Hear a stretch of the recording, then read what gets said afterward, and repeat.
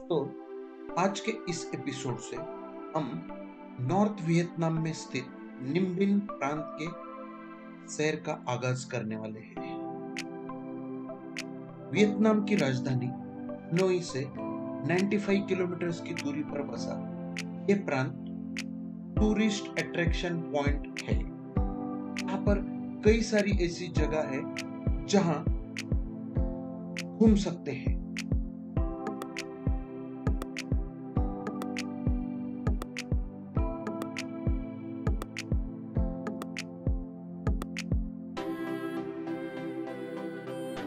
निम्बिन प्रांत के कुछ प्रमुख अट्रैक्शन के नाम इस प्रकार है। टामकॉक यहाँ पर सुनहरे या हरे रंग की राइस फील्ड्स में से घूमने का आनंद आप ले सकते हो। ट्रैंग एन जो कि यूनेस्को वर्ल्ड हेरिटेज साइट है। पिचडोंग पैगोडा तो एक बुद्धिस्ट मंदिर है।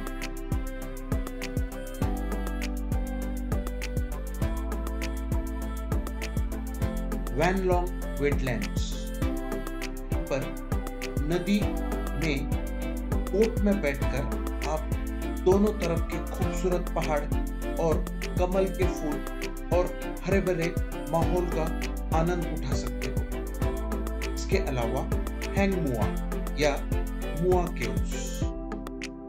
दोस्तों, आज हम मुआ केव्स की सैर करने वाले हैं।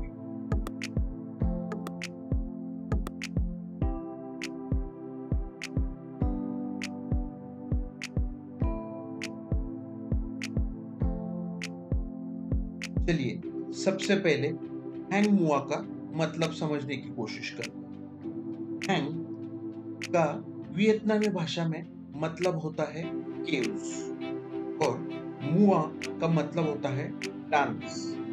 माने ये डांसिंग केव्स है। हैंग मुआ या मुआ केव्स दोनों का मतलब एक ही होता है। डांसिंग केव्स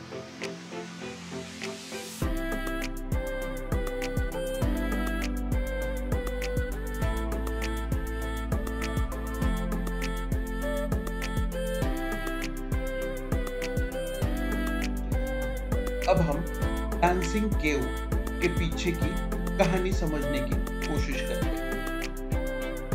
कहानी के अनुसार 12वीं सदी में वियतनाम पर ट्रान डायनेस्टी का शासन था। उस समय इसे चंपा साम्राज्य भी कहते थे। उस समय मंगोलिया के आक्रमण से बचने के लिए यहाँ के राजा ने यह निर्णय लिया कि वे अपनी राजधानी थांगलोंग से निम्बिन शिफ्ट करेंगे। निम्बिन के पास बसे मुआ के उसको शाही परिवार ने मनोरंजन का स्थान बना दिया। यहाँ पर राजा नृत्यांगनाओं के काफिले के साथ आकर नृत्य का आनंद लिया करते थे।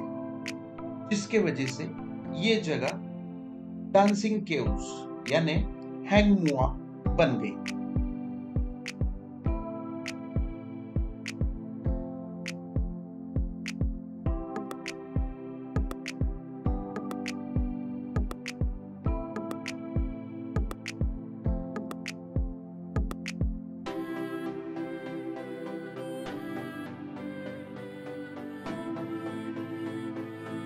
यहाँ के पर्वत शिखर से आप निम्बिन प्रांत के 360 डिग्री व्यू का आनंद उठा सकते हो। यहाँ के पहाड़ों से शानदार नजारे देखने को मिलते हैं। लगभग 400 सीढ़ियाँ चढ़ने के बाद यहाँ पर दो चोटियाँ हैं। लेफ़्ट साइड में चोटी पर बुद्धिस्ट पैगोडा है। तो राइट साइड में और 100 सीढ़ियाँ चढ़ने के बाद पत्थर का ड्रैगन बना है, जिसके वजह से इस पर्वत को लाइन ड्रैगन माउंटेन कहा जाता है।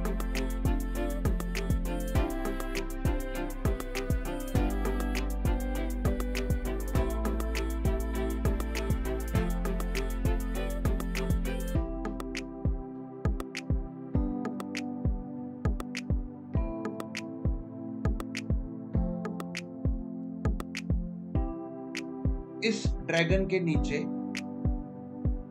एक स्टैचू बना है, जिसे गॉडेस ऑफ़ मर्सी या वियतनामी भाषा में क्वेन एम कहते हैं। ये सेल्फी पॉइंट है। यहाँ से आप पूरे एरिया का खूबसूरत नज़ारा देख सकते हैं। 800 मीटर की ऊंचाई पर बसे इस पर्वत को ग्रेट वॉल ऑफ़ वियतनाम ही कहते हैं।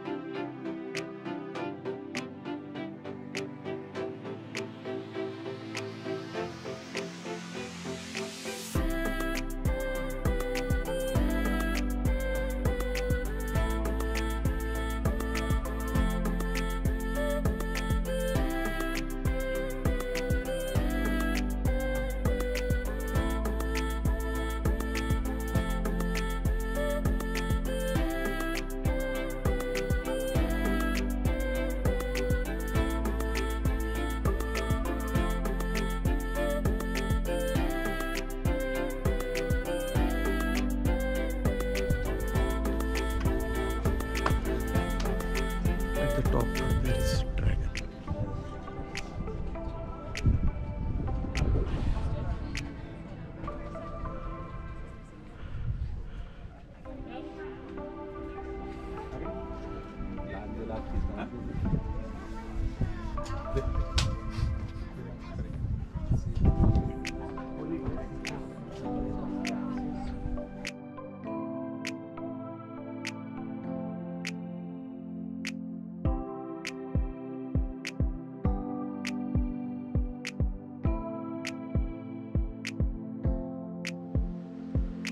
this is the walkway through lotus lake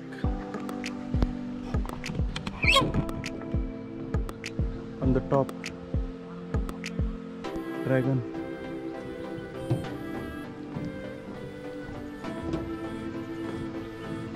this is Mua Cave mountain वैसे तो यहाँ पर आप पूरे साल में कभी भी आ सकते लेकिन अप्रैल से सितंबर का समय यहाँ का ड्राई सीज़न होता है माने यहाँ पर बारिश होने की संभावना कम होती है, जो कि बेस्ट माना जा सकता है। मई से जून के बीच में यहाँ पर सुनहरे, पीले या गोल्डन चावल के खेत देखने को मिलते हैं।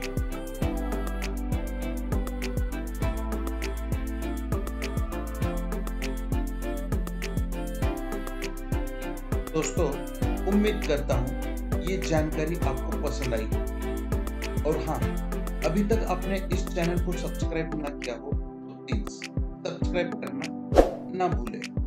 अगले एपिसोड में फिर एक नई जगह, नई कहानी के साथ फिर मुलाकात